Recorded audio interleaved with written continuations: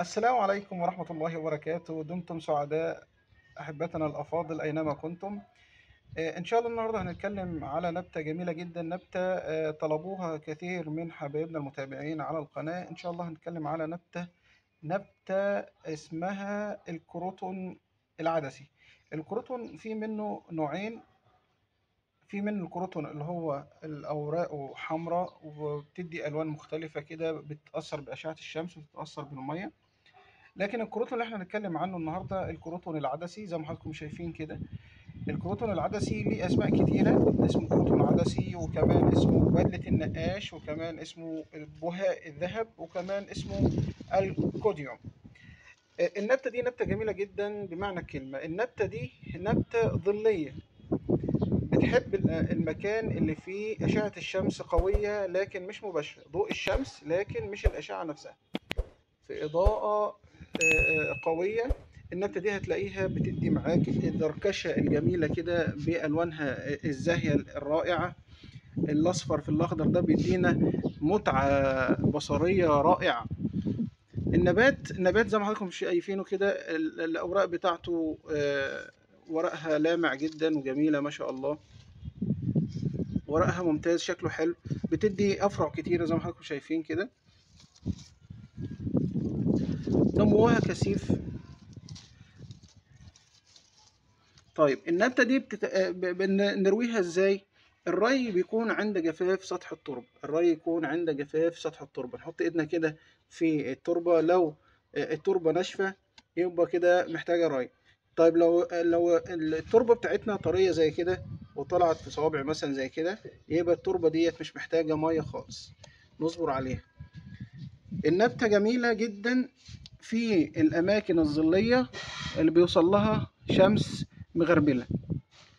آه، النبتة جميلة أصلا تنتشر في مصر والوطن العربي ليها ألوان جميلة جميلة جدا.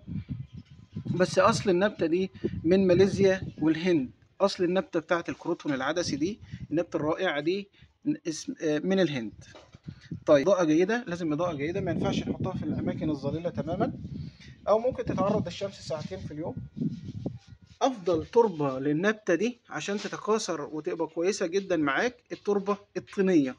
زي ما حضرتك شايف كده دي تربة طينية. ده أحسن وسيط تنمو فيه النبتة الجميلة دي. التربة الطينية زي ما حضرتك شايف كده النبتة الطينية النبتة الجميلة دي عايشة في تربة طينية. النبته بتحب الدفء. يعني ما ينفعش في الشتاء نعرضها للصقيع والجو التلج ده ودرجة الحرارة ما تنزلش عن 15 درجة مئوية.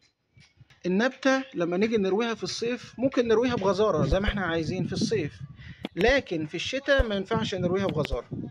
واحذر من تعفن جذور النبتة. النبتة رائعة بمعنى الكلمة نبتة جميلة جدا تستمتع بيها. اسمها الكروتون العدسي. النبتة بتحب الرطوبة. يعني دايما إحنا نرش الورق بتاعها بالمية نرش الورق بتاعها بالمية ونخليه دايما رطب. هتدينا زركشة جميلة زي ما حضراتكم شايفين كده. طيب النبتة دي بتتكسر إزاي؟ النبتة بتتكاثر بطريقتين. يا إما الترقيد ناخد فرع ونرقده أو التكاثر الطرفي بالعقلة الطرفية. نقطع كده آه، عقلة طرفية من الطرف اللي هو فيه النمو ده. ونشيل كام ورقة من فوق كده ونزرعها على طول. إن شاء الله هتجدر معانا وتشتغل. أو نقطع عقلة طرفية ونجدرها في المية وتشتغل معانا بعد كده ننقلها في الطين. طيب لو إحنا بنسأل على سماد للنبتة دي النبتة دي نسمدها إزاي؟ النبتة دي بتاخد سماد كي كل شهر مرة. بتاخد كي كل شهر مرة. أو الأسمدة بتاعتنا الطبيعية اللي إحنا متعودين عليها سماد ماء الرز سماد البنجر سماد قشر الموز سماد الشاي سماد القهوة. أسمدة كتيرة جدا طبيعية تنفع النبتة دي وتديك نتيجة مبهرة جدا لتكاثر النبتة دي النبتة واخضرار أوراقها. النبتة إحنا شايفين آه، آه، هنا التربة بتاعتها. طرية مش هينفع نرويها. طيب هنا التربة سطح التربة ناشف جدا سطح التربة زي ما حضراتكم شايفين كده ناشف جدا فلازم نرويها لازم تاخد ري النبتة دي لو إحنا بخلنا عليها بالمية هنلاقي الورق بتاعها ده زبل كده وبقى طري ونازل لتحت وشكله مش عاطفي هتصعب عليك فتضطر تديها آه، مية تانية. النبتة آه، لو أخدت المية بعد ذبول ورقها بتنتعش من جديد وتدي لك نمو رائع جدا. النبتة ما بتطولش. يعني طولها آخره مثلا آه، تسعين أو متر ما بتطولش عن كده. نبتة جميلة جدا. لو حضرتك كمان حبيت تخلي تخليها كثيفة أو ذات أفرع كثيفة بنقطع القمم النامية دي. نقطع القمة النامية ديت وبالتالي هتعمل فروع من تحت وتبقى كثيفة وتبقى جميلة جدا.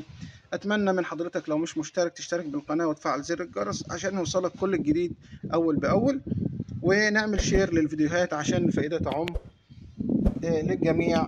وأتمنى تكونوا استفدتم. والسلام عليكم ورحمة الله وبركاته.